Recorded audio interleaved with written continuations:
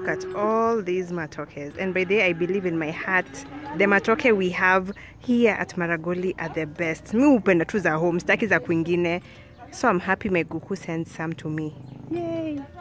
As I mentioned last year on my Instagram stories, the matoke I really enjoy having comes from my Guku's Shamba. My Guku, all the way in Western Province, has the best matoke, and in my opinion, the taste is a lot richer and a lot more delicious.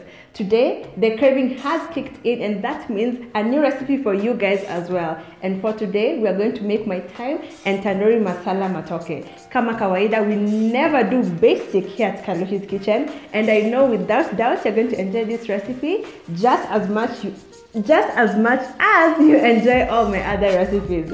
Welcome to my kitchen and karibuni sana to my channel.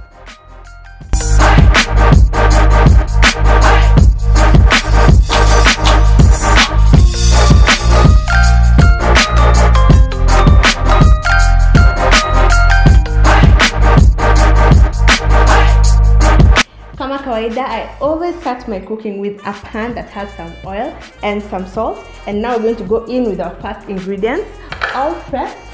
And for that, I chose to use some dania stems and some red onion. You can use any kind of onion you have. And also remember, I mentioned in my Githeri video, and I always mention this on Twitter, dania stems always add a lot more character to your meal always use the stems because they can take up the intense heat for the initial cooking stage very very well and they also infuse into the oil making the overall dish very very delicious so kumbukeni hiyo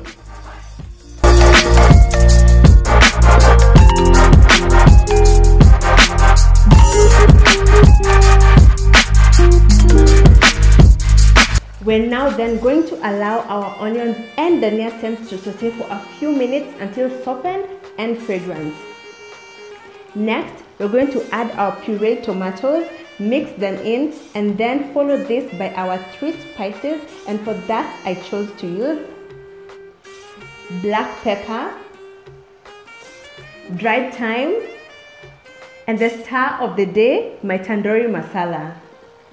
We'll then add some hot water, mix them in, and then allow the spices and the tomatoes to simmer for a few minutes to facilitate the melding of flavors.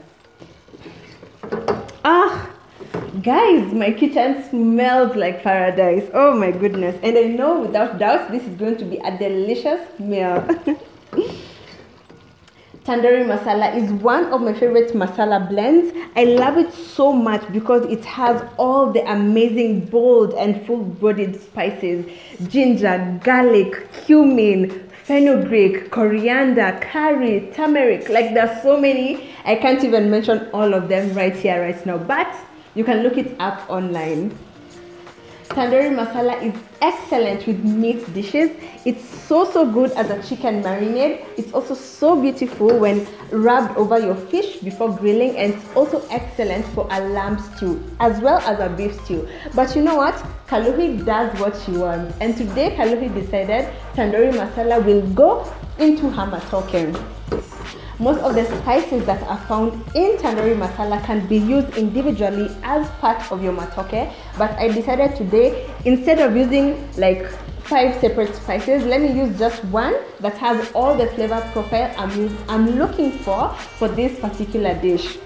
Don't forget, I always buy all my spices in our local supermarket. And guys, please, please, please, please, tembeeni in the supermarket spice aisles. Just walk through and see what's there, even if you're not buying.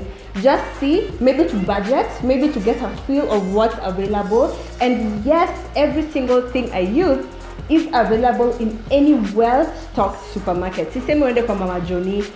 Okay, sina buy na Mama Johnny, but go to a well-stocked supermarket so that you can get everything I cook with. Sawa? Okay.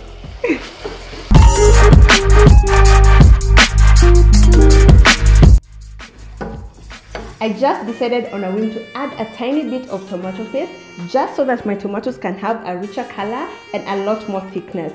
I unfortunately did not realize my phone was not recording, but I will include that tiny detail in the blog post um, whose link is in the description box. By now you guys know the drill. Now that this is simmering and thickening, we're going to grab our matoke I already peeled mine and I put them in some, some water so that they don't oxidize. If you peel them and leave them in the air, they'll turn a bit gray and that's what I refer to as oxidation. However, if they oxidize a tiny bit, it's sour, but it's bado zitalika too.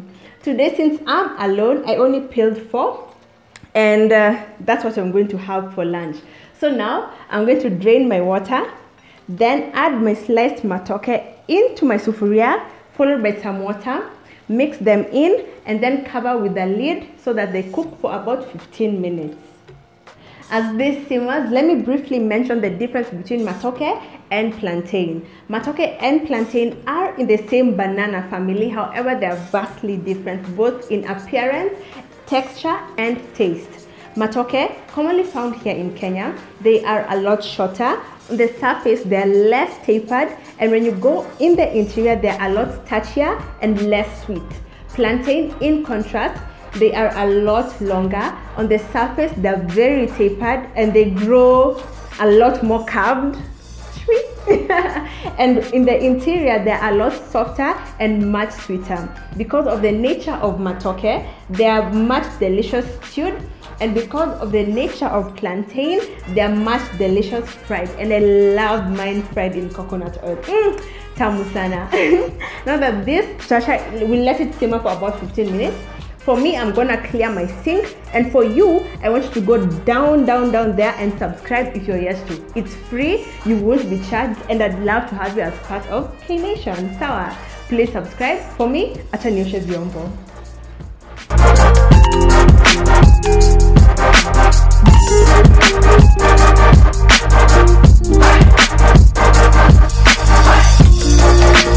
I mentioned in one of my recent videos that githeri is among my top Kenyan vegetarian meals and on that same list I have to include matoke. I love my matoke.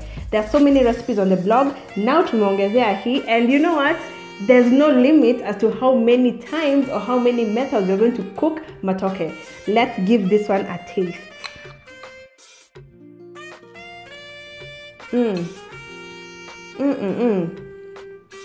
There's something there's something quite particular about the taste of the matoke that comes from a guku's shamba. I don't know what it is, but it's extremely full bodied, and that exact quality is rounded up by the tandoori masala and brought to life in the most beautiful way. The taste of the thyme, together with that of the dania, really goes hand in hand. And overall, this is a very beautiful dish, and I can't wait for you guys to try out this recipe because I know you're never going to get over it because it's so damn delicious. For me, it's not lunchtime, time to go eat. I hope you enjoyed this video so, so much. See you on my next one. And thank you so much for being part of K Nation. Bye.